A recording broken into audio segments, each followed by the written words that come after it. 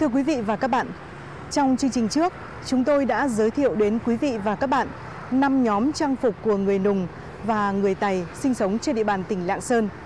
Trong chương trình hôm nay, chúng tôi xin giới thiệu tiếp đến quý vị và các bạn trang phục của các nhóm Giao, Mông và Sán Chay. Mời quý vị và các bạn cùng theo dõi.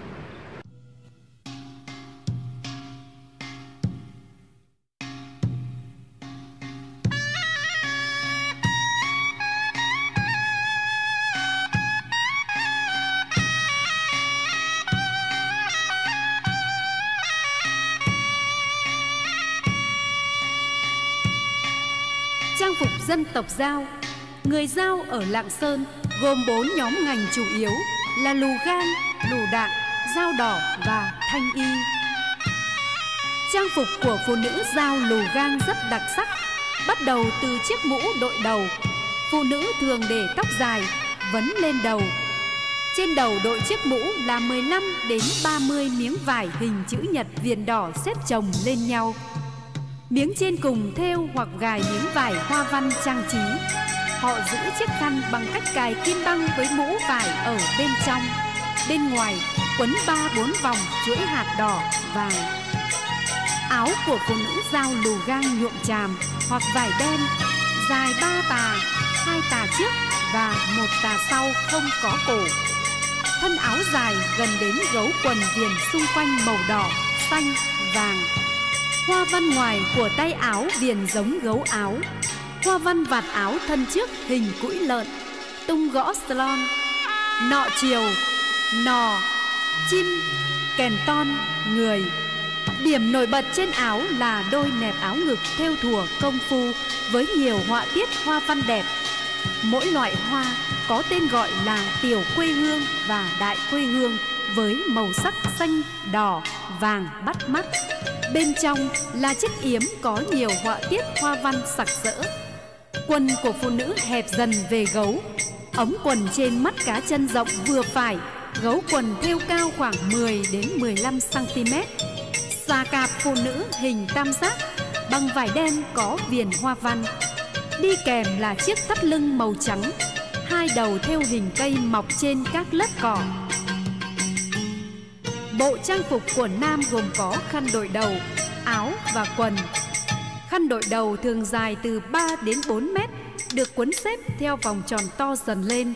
Phía trên trang trí bằng hai dây vải theo dệt bằng len, gồm nhiều màu khác nhau làm tôn thêm vẻ đẹp của khăn đội đầu. Có một mảnh đầu khăn rời được theo hình kỳ hà nếp rộng 3 tới 4 cm gài trên vành khăn phía sau áo, quần làm bằng vải nhuộm tràm. Áo được trang trí theo thùa bằng các sợi len ở bốn túi trước ngực và phía sau dọc chiều dài sống lưng. Điều đặc biệt là hai bên tay áo được chia làm ba đoạn và được kết nối bằng các vòng tròn được trang trí hoa văn nối liền ống tay áo với nhau. Quần được may bằng vải tràm, các kiểu chân què, cạp lá tọa, nhuộm tràm hay đề trắng.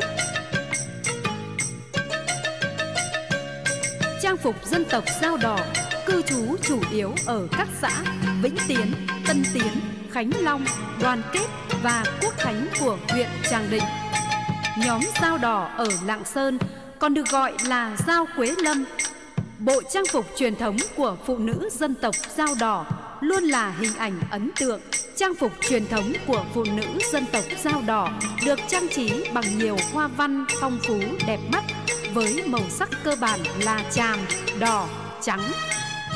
Trên chất liệu vải tràm cùng với kỹ thuật tạo hoa văn từ theo cùng với phụ kiện người phụ nữ dân tộc dao đỏ thể hiện sự khéo léo về mặt cảm xúc, tâm tư, tình cảm và khát vọng sống của mình trong những họa tiết rất phong phú và đa dạng. Những yếu tố cấu thành lên bộ trang phục của phụ nữ người dao đỏ bao gồm khăn, mũ, áo, yếm, quần, dây lưng.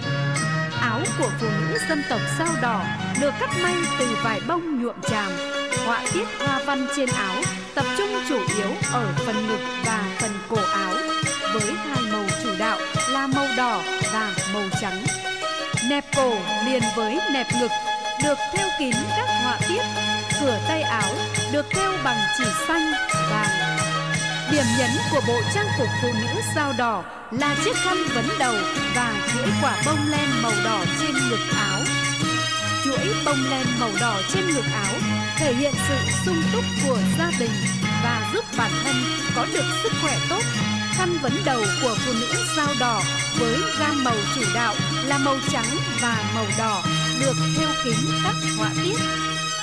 Góp phần trang trí cho bộ trang phục còn có chiếc dây lưng được theo thùa công phu với nhiều hoa văn cầu kỳ và được đính kèm nhiều chuỗi hạt cườm với đủ các màu sắc sặc sỡ quấn quanh vòng eo. Nếu như trang phục của phụ nữ sao đỏ cầu kỳ bao nhiêu thì trang phục của nam giới sao đỏ lại đơn giản, chỉ có khăn đội đầu, áo ngắn và quần. Khăn đội đầu của nam giới được làm bằng vải thô màu tràm, áo ngắn cũng màu tràm, cổ tròn, mở ngực. Quần được may ống rộng để tiện cử động, người ta thường giữ đai quần bằng những chiếc dây chun.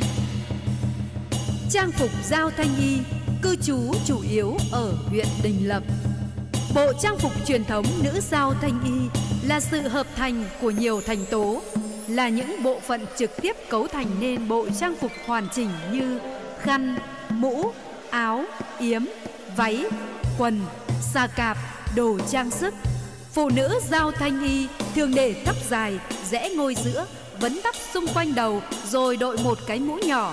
Mũ được làm bằng loại gỗ nhẹ, hình trụ tròn, đường kính miệng khoảng 18 đến 20 cm, đáy 15 đến 18 cm, cao khoảng 10 đến 15 cm, được bọc bằng vải nhuộm tràm đen. Khi đội úp phần miệng vào đầu, đỉnh mũ có đính ngôi sao bằng bạc 12 cánh, xung quanh thành mũ đến những miếng bạc hình tròn sát nhau thành hai hàng song song. Áo dài là loại áo tứ thân, dài đến gối, xẻ giữa, Viền cổ áo có thêu hoa văn bằng chỉ màu, hai tà trước vắt chéo nhau, tà trước bên phải cắt ngắn ngang hông, tà bên trái có khi thả dài. Khi lao động sản xuất, vắt ngắn dắt vào dây lưng cho bằng tà bên phải. Viền áo trang trí màu đỏ hoặc vàng, cổ áo và tay áo thêu hoa văn, hình sao, hình người, hình sóng nước, cây thông, chữ thập ngoặc. Ống tay áo may giáp nối gấu tay áo màu đỏ ở giữa thân sau áo có thêu. Nẹp gấu vạt áo được thêu trang trí bằng chỉ màu. Áo không cài huy nên khi mặc được vắt chéo hai vạt rồi buộc thắt lưng ra ngoài yếm hình vuông mỗi chiều 30 cm bằng vải màu tràm. Nửa trên của yếm đắp vải đỏ đen và mảnh hoa văn đã được thêu sẵn.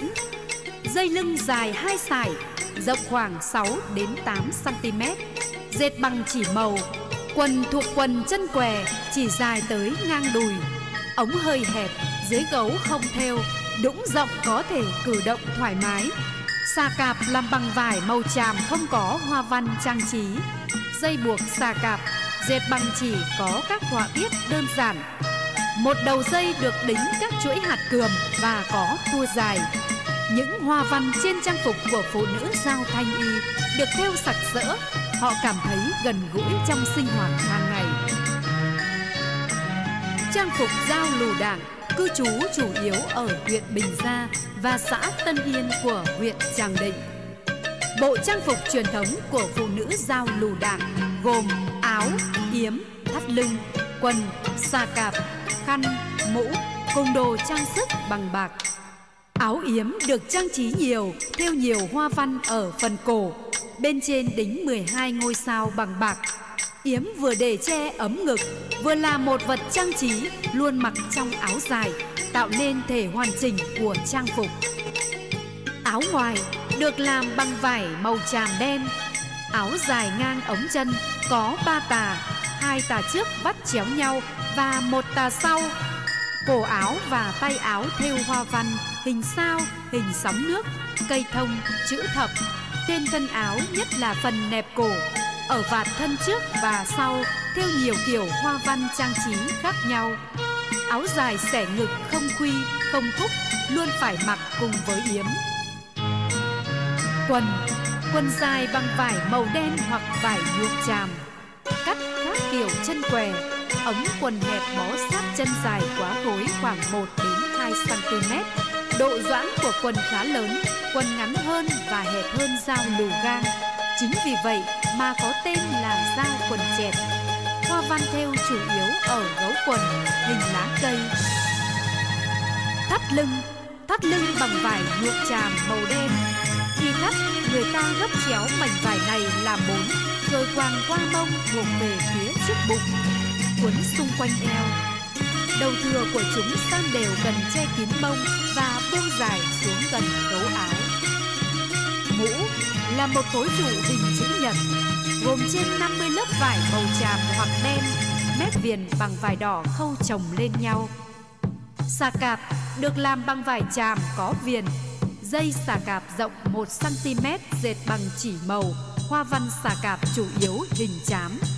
Các phụ kiện đi kèm trang phục gồm có dây xà tích, khuyên tai, kiềng bạc, lắc tay. Trang phục nam dân tộc giao lù đạn thường mặc áo tứ thân, cổ có hò, tà áo phải có nẹp phụ kéo dài từ cổ xuống đến gần gấu để đơm khuy khuy áo tết bằng vải, thân áo, tay áo có thể theo hình hoa lá hoặc không theo gì. Hoa văn được trang trí trên ngực áo ngắn là cách đính cúc theo chiều dọc ở giữa áo. Áo ngắn mặc trong, áo dài mặc ngoài.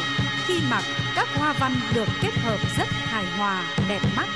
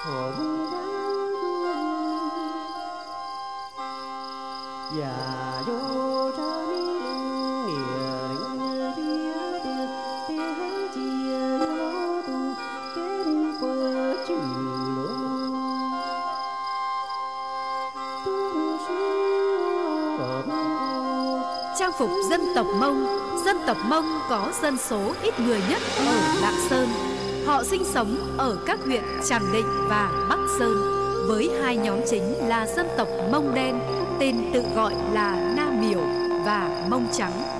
Tại huyện Bắc Sơn, đồng bào dân tộc Mông Trắng sinh sống tại hai xã là xã Nhất Hòa và xã Nhất Tiến. Tại huyện Tràng Định, đồng bào dân tộc Mông Đen sinh sống tại xã Cao Minh và xã Khánh Long. Bộ trang phục của người phụ nữ Mông Đen khá đặc biệt bởi chiếc váy gấp ly đều tăm tắp, súng xính đung đưa theo nhịp bước của những cô gái Mông trên đường xuống chợ phiên. Trang phục của người phụ nữ mông đen được thiết kế hết sức cầu kỳ, sặc sỡ, nổi bật bởi những đường nét hoa văn họa tiết được thêu rất kỳ công trên khăn và váy áo của họ. Áo nữ mông được xẻ ở giữa ngực và có hàng hoa văn đắp dọc hai bên áo rất đẹp. Chiếc yếm là một trong những điểm nhấn đặc sắc của nữ phục mông đen. Văn hóa truyền thống người Mông là một kho tàng hết sức phong phú với những phong tục tập quán lễ nghi tín ngưỡng, những loại hình dân ca dân nhạc và dân vũ đặc sắc như sáo, khen lá và hát hu nhậu là những thể loại âm nhạc dân gian tiêu biểu của người Mông Lạng Sơn. Đó là những tài sản vô giá của cộng đồng người Mông được lưu giữ từ lâu đời và trao truyền từ thế hệ này sang thế hệ khác. Trang phục của người phụ nữ mông trắng, mang nét chung của người mông được thiết kế cầu kỳ với màu sắc sặc sỡ, nổi bật gam màu xanh cốm, được đính nhiều hạt cườm óng ánh. Chiếc áo của phụ nữ mông trắng lạng sơn là áo tứ thân xẻ ngực, không cài cúc mà thay vào đó là hai nẹp áo được trang trí hoa văn sặc sỡ, kéo dài từ cổ xuống hết đến thân áo. Thân áo được xẻ tà cao đến gần nách. Hai bên tà áo màu trắng được người ta trang trí bằng cách thêu hay ghép bằng vải màu, tạo cho người mặc không bị cảm giác chật bó hai cánh tay may rộng, hai cổ tay được trang trí màu xanh. Với cách trang trí hoa văn như vậy nên tuy dùng nhiều màu sắc sặc sỡ nhưng người ta vẫn có được cảm giác cân đối hài hòa. Váy phụ nữ bông trắng là loại váy kín có màu đen hoặc màu trắng, nhiều nếp gấp rộng khi xẻ ra có hình tròn. Trên váy đính nhiều hạt cườm đủ các màu sặc sỡ Váy được mang trên người với chiếc thắt lưng vải được thêu hoặc đính nhiều hạt cườm trang trí ở đoạn giữa. Khi mặc váy thường mang theo tạp dề. Tạp dề mang trước bụng phủ xuống chân là giao thoa giữa miếng vải hình tam giác và chữ nhật. Phần trang trí hoa văn là miếng vải hình tam giác cân phía trên. Miếng hình chữ nhật là màu đen, kích thước tùy vào độ khéo léo và thẩm mỹ của mỗi người. Chiếc khăn của phụ nữ mông trắng không thêu hoa văn mà chỉ là một tấm vải kẻ. Họ thường quấn khăn quanh đầu thành nhiều lớp, tạo thành vành khăn cao trên đầu, trên to, dưới thon, mối khăn bỏ thõng phía trái. Trang phục phụ nữ mông trắng còn có xà cạp quấn chân với gam màu đen của sắc tràm. Đồ trang sức mông trắng chủ yếu là vòng tay, vòng cổ bằng bạc,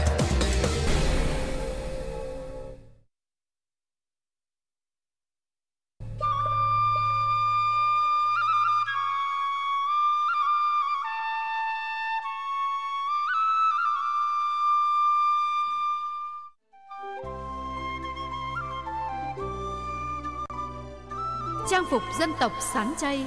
Người Sán Chay ở Lạng Sơn bao gồm cả nhóm Sán Chỉ và nhóm Cao Lan. Nhóm Sán Chỉ cư trú ở huyện Lộc Bình và nhóm Cao Lan cư trú ở huyện Hữu Lũng. Trang phục dân tộc Sán Chay nhóm Sán Chỉ hòa chung những nét văn hóa của xứ làng. Người Sán Chỉ có những nét văn hóa đặc trưng tiêu biểu riêng biệt trên bộ trang phục của dân tộc mình không rực rỡ như trang phục của người Mông, người Giao. Trang phục của người Sán chỉ mộc mạc, đơn giản nhưng vẫn toát lên được vẻ đẹp khỏe khoắn, mạnh mẽ và có những nét độc đáo riêng biệt. Trang phục của cả nam và nữ đều do đôi tay khéo léo của người phụ nữ Sán chỉ làm ra, từ nhuộm màu cho vải để có màu sắc ưng ý. Đối với trang phục truyền thống của người Sán chỉ, không có những đường nét thêu thùa sặc sỡ người phụ nữ sán chỉ thường mặc bộ quần áo tràm truyền thống, áo đi theo cặp. Áo trong thường do sở thích của từng người chọn kiểu và màu sắc, nhưng thường là áo sáng màu. Áo ngoài là áo tràm có năm thân khuy cài bên nách phải, dài ngang đầu gối. Quần cắt theo kiểu quần chân què đũng chéo, gấu dài tới mắt cá chân. Mặc trang phục truyền thống của dân tộc người phụ nữ sán chỉ phải vấn tóc, đội khăn màu đen và kèm theo các phụ kiện như đeo thêm vòng cổ, vòng tay bằng bạc. Trang phục nam của người sáng chỉ mộc mạc đơn giản nhưng vẫn toát lên vẻ đẹp khỏe khoắn. Áo nam là loại áo cánh ngắn tứ thân, hai bên nẹp áo đính hàng cúc vải gồm 5 quy. Áo có hai túi nhỏ ở hai vạt trước, quần dài đến mắt cá chân, cạp rộng bản, được làm từ một miếng vải trắng may đính vào thân quần. Ống quần rộng để thuận lợi cho việc